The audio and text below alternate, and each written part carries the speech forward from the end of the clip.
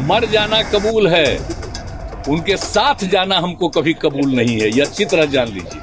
आप लोगों के लिए भाजपा के दरवाजे हमेशा के लिए बंद हो चुके हैं। हमें उम्मीद है कि नीतीश जी एनडीए में नहीं जाएँगे।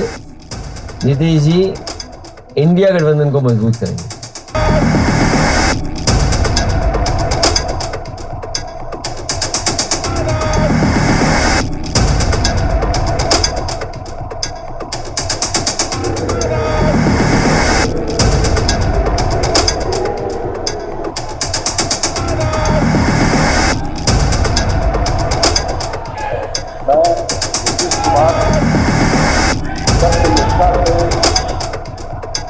ज्ञान करता हूँ।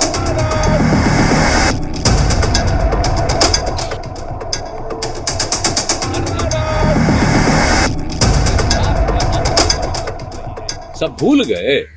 किस तरह से वहाँ पहुँचे थे? और उसके बाद जब हम लोग अलग हो गए थे, पंद्रह में तो कै गो सीट जीते थे? आ, इस बार जो है, हम ही को हरवा के, हमारा ही वोट लेके जीत गए। अब आजकल बोल रहे हैं हम लोग तो सवाल ही नहीं पैदा होता है।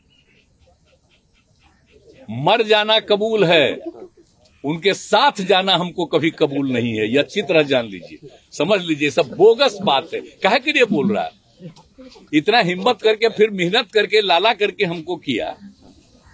क्या क्या कर दिया था? ये बिना मतलब का इनके पिताजी पर, सब पर केस फेस करके क्या कर दिया था? अब बिना मतलब का हमको ये करके और उसके बाद फिर जो हम लोग खत्म किए, तब फिर कुछ करने के चक्कर में कि इन लोगों को कैसे इधर से उधर करे, यही सब चक्कर में, समझ गए?